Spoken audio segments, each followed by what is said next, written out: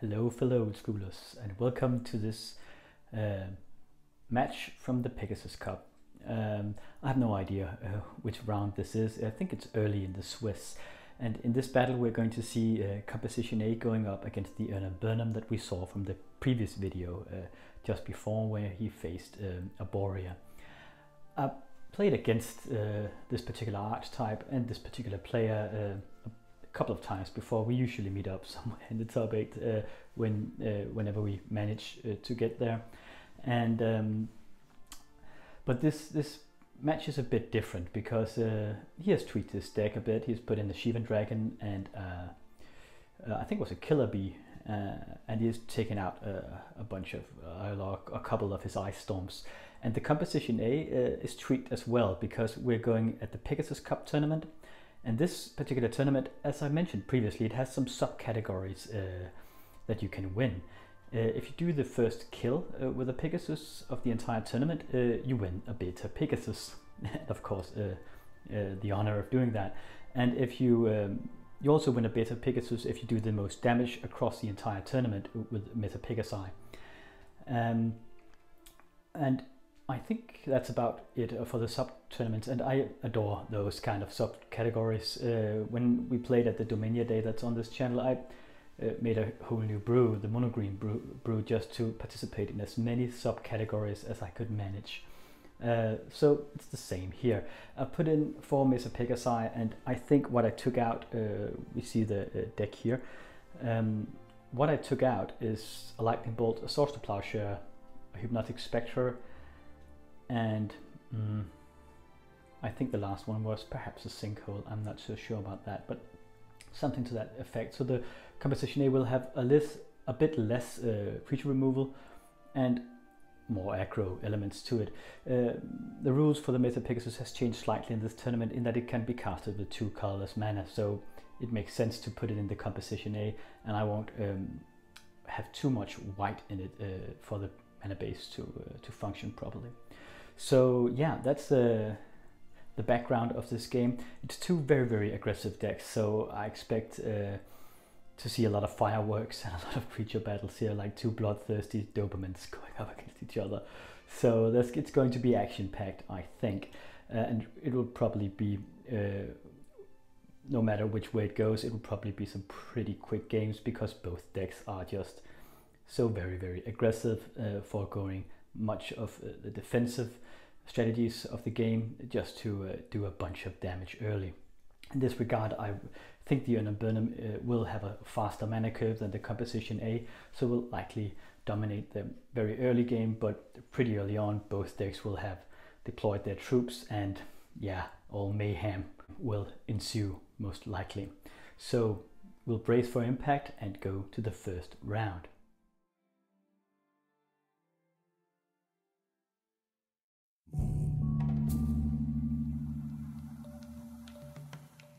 And with me on the left here on composition A, and I think I'm on the play. Yeah, Badlands, slow and steady start here.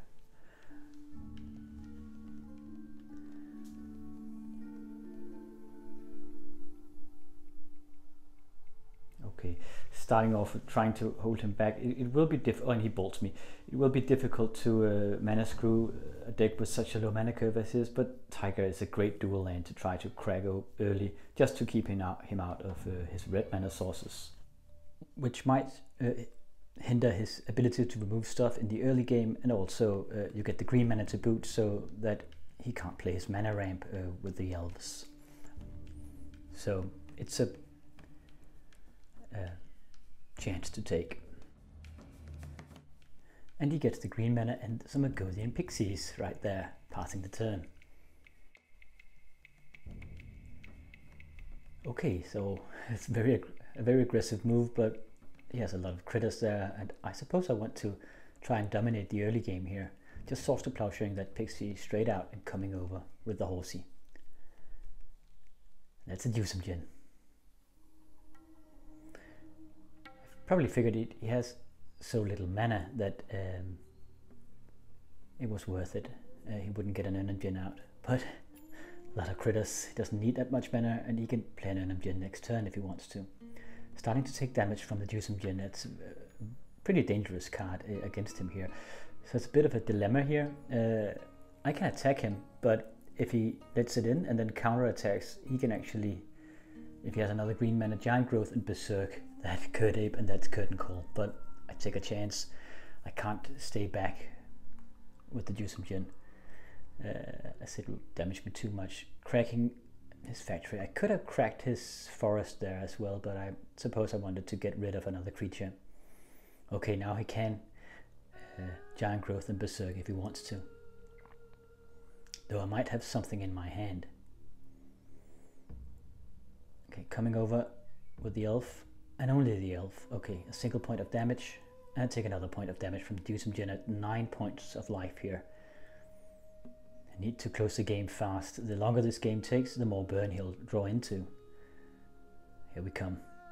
Blocks with the Kird Ape, Giant Growth, thus becoming a, a huge creature, but I Swords to Plowshare. I'm just waiting with that Swords to Plowshare for him to uh, use his Giant Growth. Then he berserks my Juzám Djinn. just to get rid of it. So the Juzám does 10 points of damage and he gains 2 life from the Ape because I played before Giant Growth takes effect. So before it becomes um, a 5-6 creature. So if I haven't Swords the Plowshare it, it would actually have killed the Juzám without dying itself. So I'm without a Juzám Djinn, he's without his Ape, he has taken up a huge amount of damage here. But now all that's left is a horsey against an elf and he has the burn in his hand. So we're just trading blows here. Another horsey coming out. And I imagine I'll just block with it. Yeah, here we go. Okay, giant growth, at least it gets rid of a giant growth. Um, so need to need him to use those because if he draws into a berserk again, um, that might be very very dangerous. So just attacking with the Forsey and putting out a hypnotic spectre here. So that can block his uh, elf all day. It might draw a bolt, but no, okay. But I'm okay with that as well because uh, then he can't bolt me. it's really just a race here.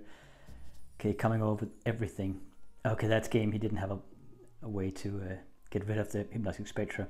So yeah, very close call. The, both decks just grinding each other out uh, here. But composition A took the first one.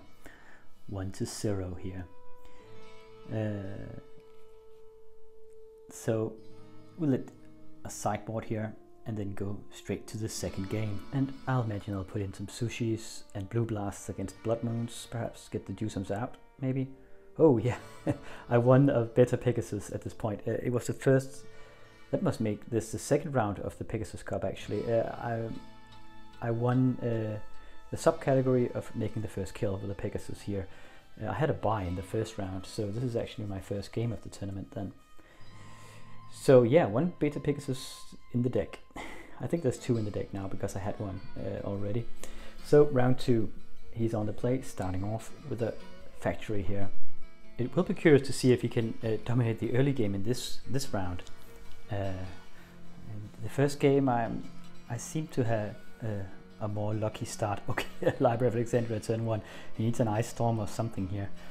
Okay, Golden Pixies turn 2.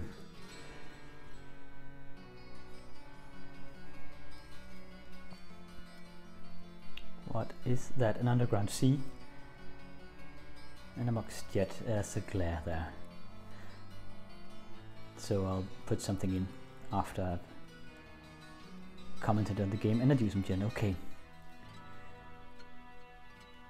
The attacks and I'll let it in here. It probably has a giant growth at this point and I suppose I'd rather take it on the chin and then counter attack.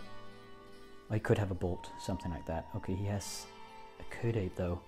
It's a lot of six points of damage and the seventh point of damage from a Juzám Djinn if I let it all in, but I attack. Okay, he chooses to block.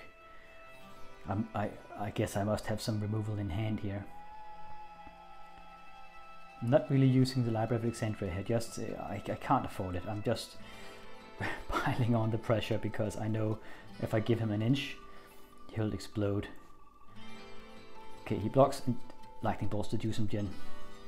So I've kept them in. I, I think I put sushis on top of the Juzám Djinns, actually just making my game uh, way more aggro oriented, just trying to duke it out with them.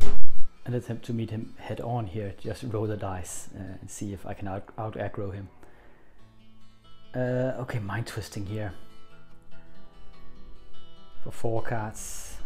Uh, a lot of burn. Let's see. Oh yeah, and the wheel and a killer bee. The wheel is really brutal to get uh, because he could have wheeled now. Okay, but he kept a Whirling Dervish.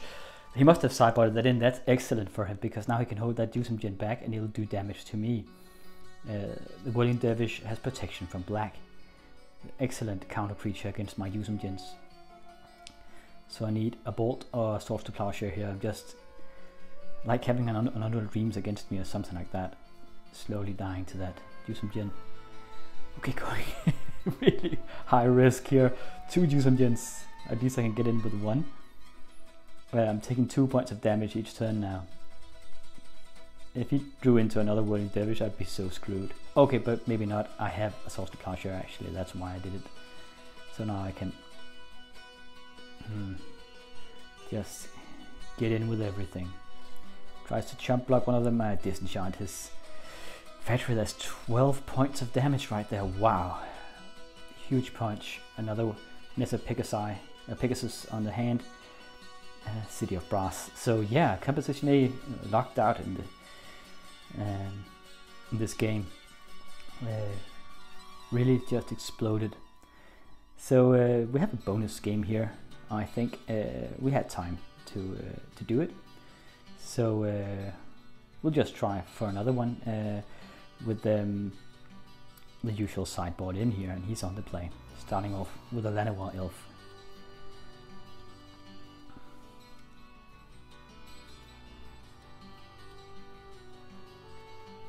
Okay, first blood to Erna Burnham.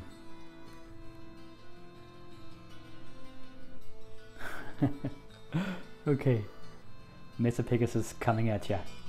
Can block that elf and I'm okay with that even though I'm more expensive. Uh, because it removes one of his uh, mana sources. But he giant grows it, so that's one dead horse. And then follows up with an Argothian Pixie, so yeah, he's well ahead at this point as his deck is designed to be. That's a Vicious Glare, it's a City of Brass. Those are actually quite dangerous for me. I play with a lot of them and uh, they can be rather brutal. Okay, balancing here. Uh, they can be rather brutal against uh, a burn uh, aggro deck like this because they do damage to me. But that balance was uh, very, very nice.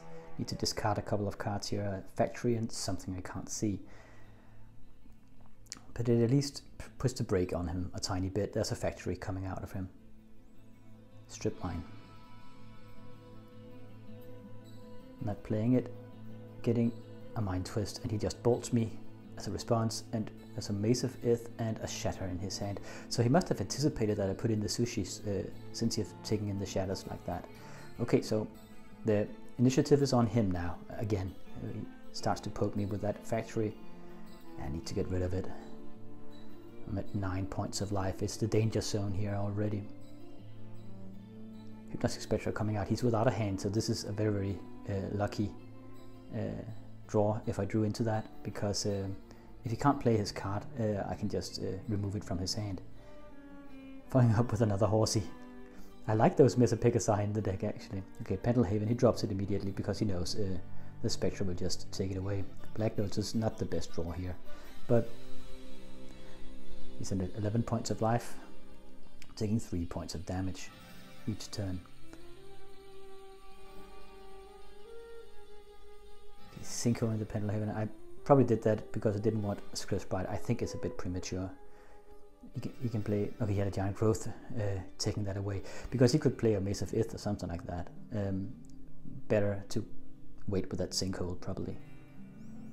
So, his turn again. He needs something here bolt or something. Shattering, yeah, the Black Lotus doesn't matter.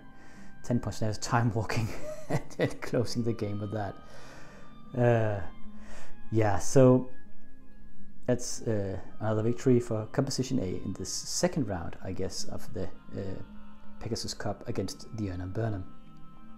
And I did win that uh, prize for having the first kill with the Mesa Pegasi, and I'm counting up all the damage I'm doing with those Mr. Pegasus as I'm trying to win the subcategory of doing the most damage overall. And everyone in the tournament with Mr. Pegasi in their deck will um, keep track of how much damage they do with it.